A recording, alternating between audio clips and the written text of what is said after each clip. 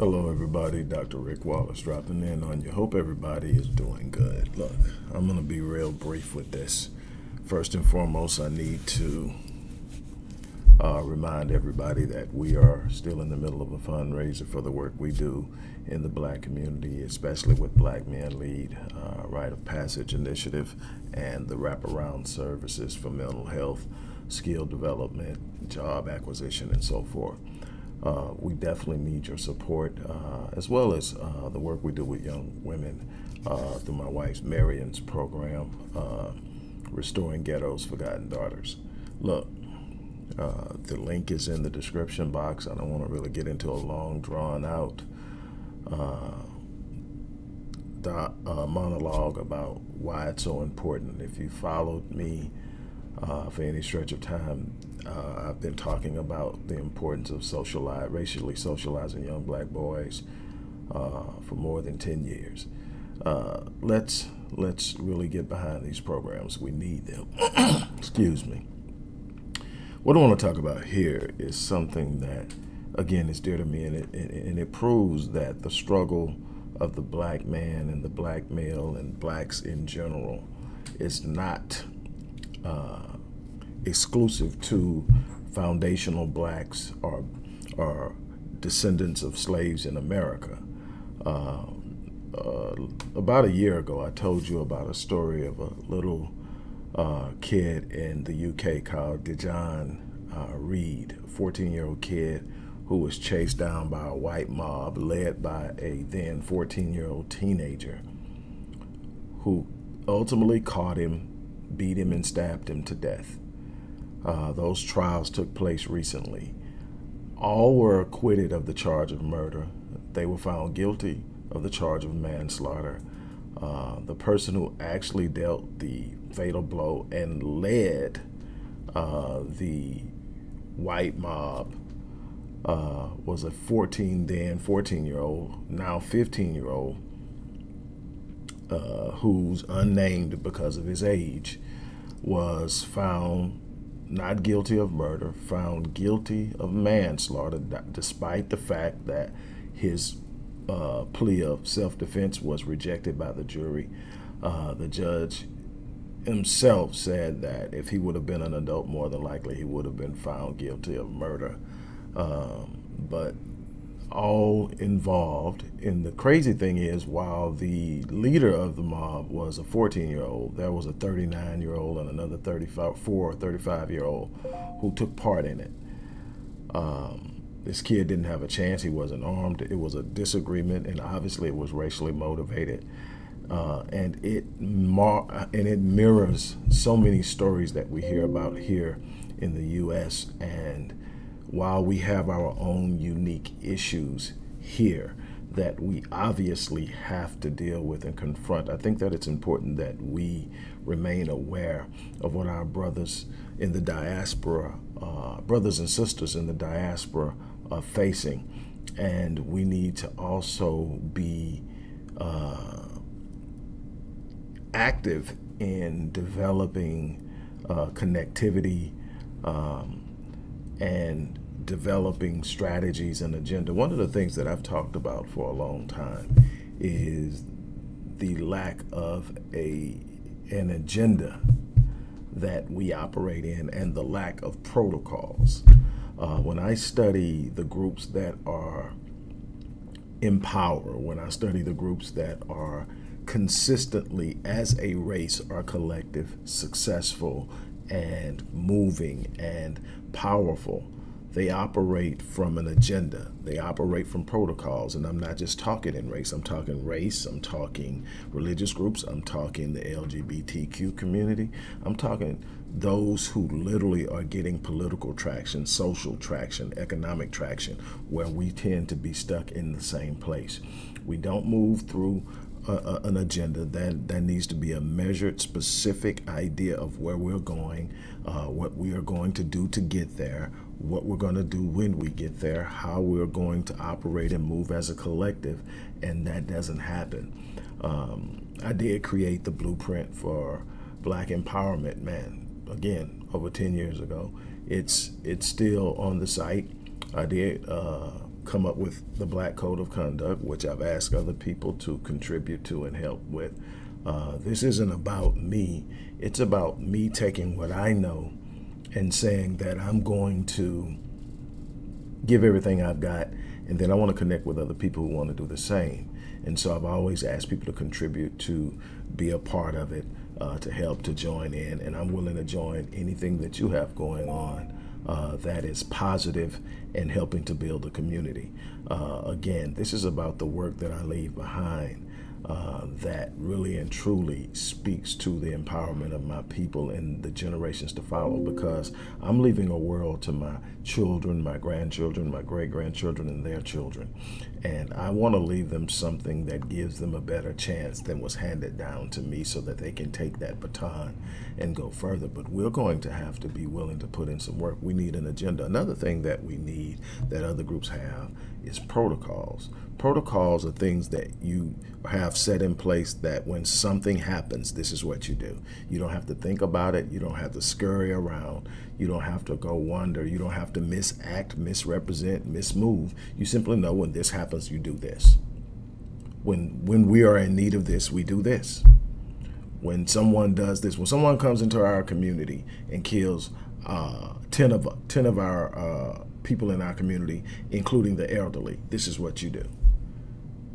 When someone kills a minor in our community, regardless of whether it's someone in our community or someone outside of our community, this is what you do. When we need to develop and build programs, this is how we fund it. These are protocols. These are the ways you move. You don't have to ask, you know, everybody knows what's expected of them, expected of them, everybody does it. When you study these other groups, you find very powerfully imprinted protocols. There's a set of man. There is. Uh, it's almost like a script. When something goes down, watch what white supremacy does. They're operating from protocols. When this happens, this is how we're going to spin it. They already know how they're going to spin it. They don't have to go think and run through. They already know how they're going to spin it. And the thing is, they've invested over 1,300 uh, invested in over 1,300 different think tanks that deal with everything from economics to education uh, to mass incarceration to gentrification and everything else. They know how to keep the system moving. We have maybe one or two think tanks. That's a problem. We have way too many issues not to have great minds coming together to think about the best way to move it. We need to be developing these things. We have programs in place that simply need to be supported. We need to have a way of significantly and consistently funding programs. We need to also have an understanding of where we want to be three years from now, where we want to be five years from now, where we want to be 10 years from now. We can't sit up and everything be a, re a reaction to the latest uh, horrific story in our community. That's not how we're going to get ahead. We can't react our way to power.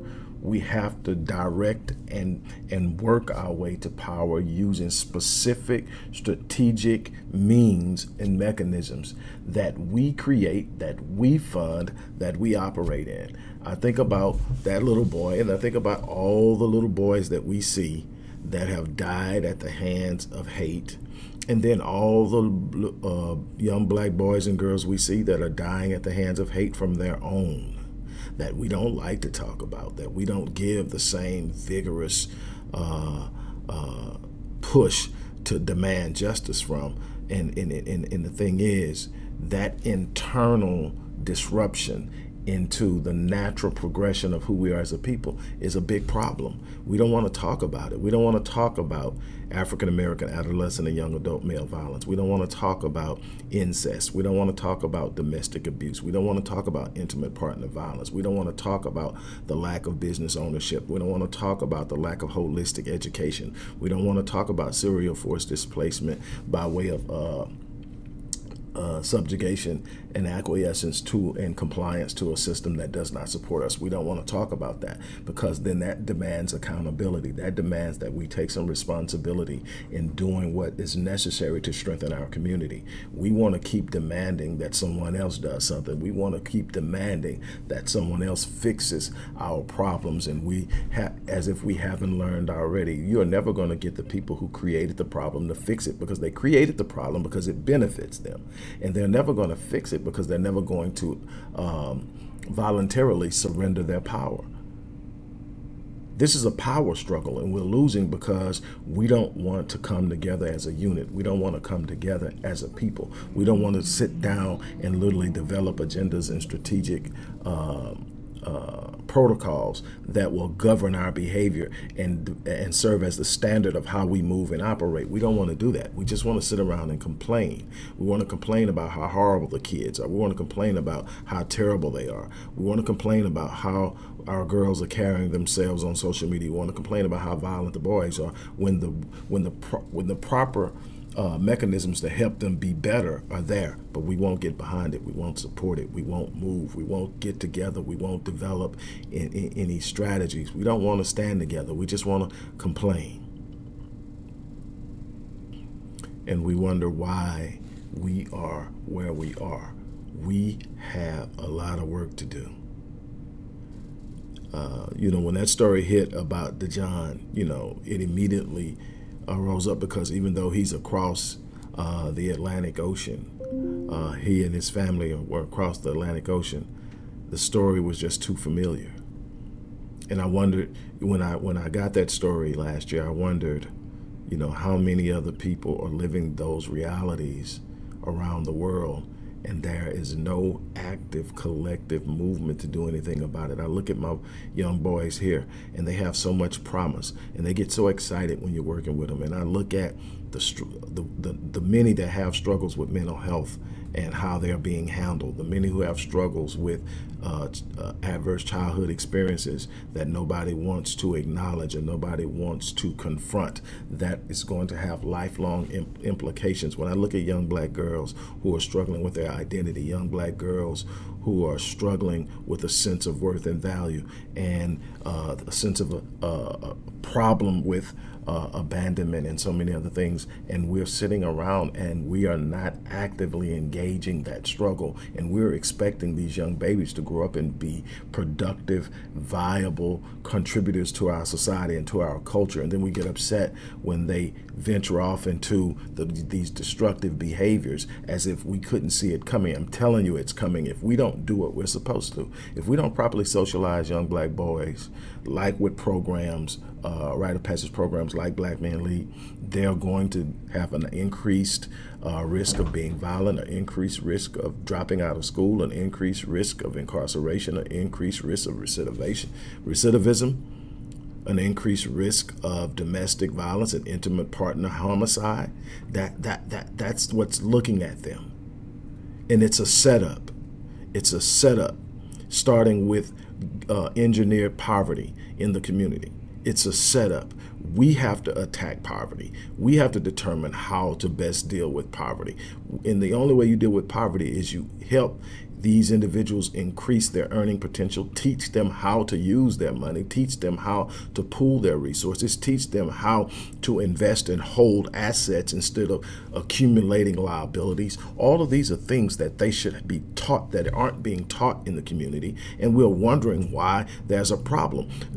Criminology 101 tells me that where there is poverty, there will be violence, there will be crime. Why? Because people are not going to sit by and voluntarily starve to death. People are going to fight for something, they're going to go after it. It doesn't matter whether it's illegal, they're going to eat.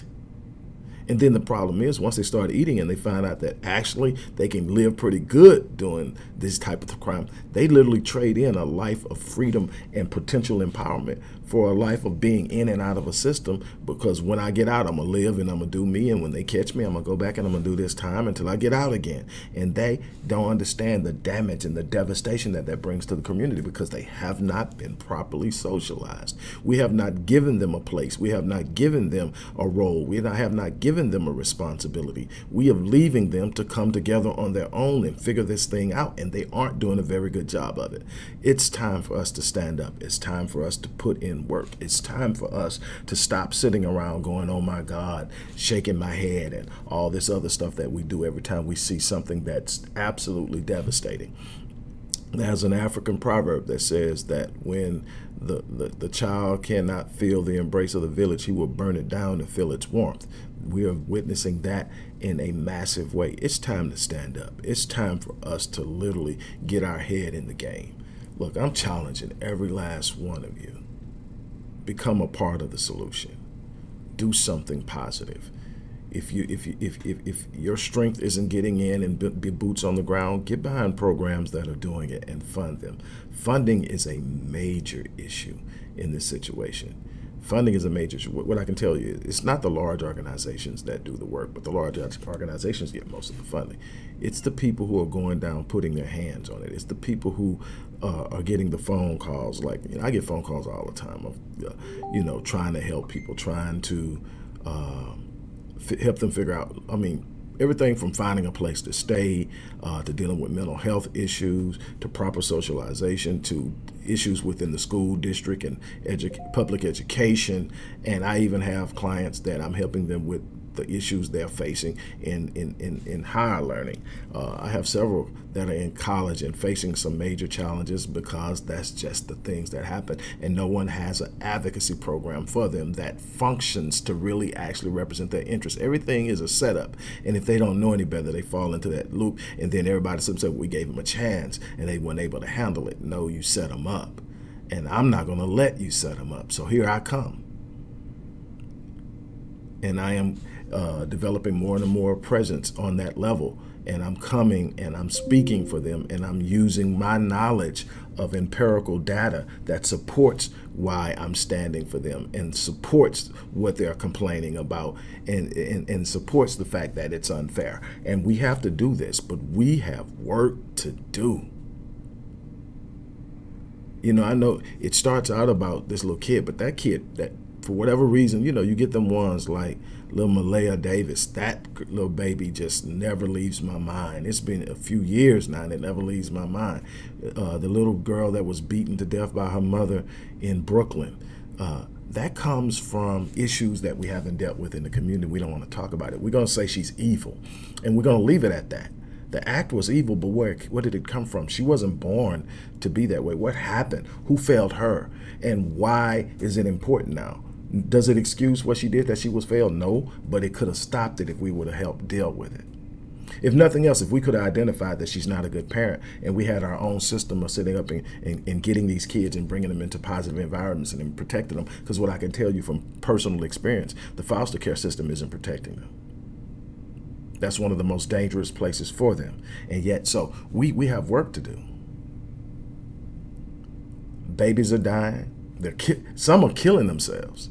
Matter of fact, uh, five, ages 5 to 11 and ages 10 to 13 are uh, led, blacks now lead those uh, two age groups, and predominantly girls. Young black males 15 to 24, 49% uh, spike over the last six years. We got to wake up. We can't say we're pro black. We can't say we're for black and we're sitting around watching this and we're inactive. Stop selling that. It's time to put in the work. It's time to be invested in the future of our people. I said, I'm gonna say this and I'm done. Uh, somebody asked me about 10 years ago,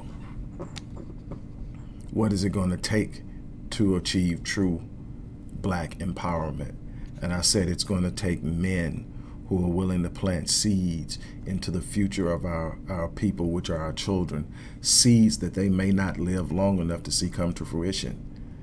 And, and people ask, what does that mean? That means that we've got to stop the band-aid approach. Everybody wants a pat on the back, so everybody's looking for quick fixes. There's no quick fix. We need to raise up a generation that's untouched, untouched by the Eurocentric idea of what's beautiful, untouched by the Eurocentric idea of what's classy, the, untouched by the Eurocentric idea of what's professional, untouched by the Eurocentric idea of what's powerful, and then we must guard them and, and instill the values, interests, and principles that, that will make us strong as a future. We need to put that into a generation that's untouched, that doesn't see white as being better, that does not think the white man's ice is colder, and that they see the beauty in themselves and they see the power in themselves and they love themselves and they see a future for themselves and they're ready to step out and walk into their true meaning and their true identity, their true nature. We have to do that. We have to plant seeds and see if I'm I'm planting these seeds, I understand that it may not come in my lifetime. I have to be okay with that because see, I'm leaving my progeny, my progeny behind. I'm leaving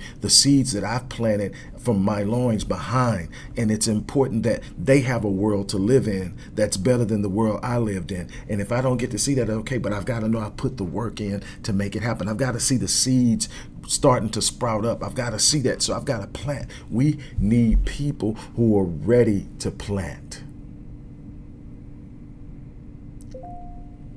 Look, on that note, I'm about to get out of here. I wish you the best. Take care.